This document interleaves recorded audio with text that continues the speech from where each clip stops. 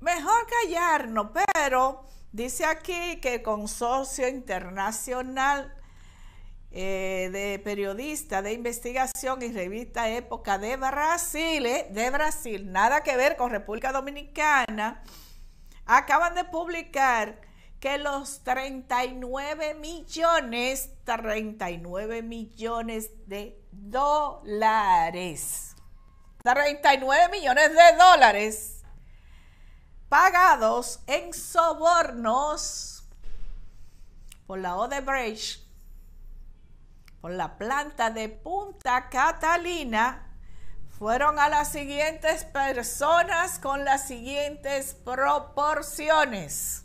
No lo estoy diciendo yo, ¿eh? Dice aquí Rubén Bichara. Estoy diciendo nombre. Lo dice aquí. 20 millones de dólares. 20 de los 39.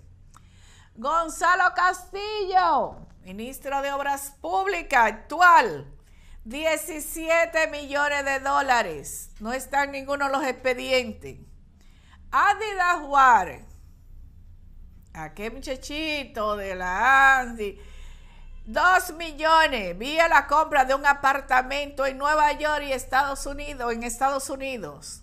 Dice la revista Época que el acuerdo para negociar la entrega de la licitación de la planta de Odebrecht se realizó en la transición del año 2012 con una visita que hizo al país el ministro de Energía y Mina de Brasil para la época a Danilo Medina a una oficina en la avenida Helio Bellavista, donde estaba también Joao Santana, Rubén Bichara, José Ramón Peralta, Carlito Pérez, Gonzalo Castillo y Donald Guerrero Ortiz.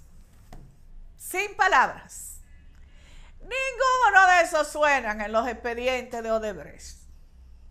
Pero como eso llega y las redes, las redes sociales no tienen que ver con política, no tienen que ver con tendencias de un partido, de, de dos fuerzas dentro del mismo partido, se publican por ahí y nosotros que pagamos para tener uh, conexiones, nos enteramos y no la estamos afirmando, pero se le estamos también proyectando a ustedes y que se hagan las investigaciones del lugar con los organismos del Estado, si es que le parece.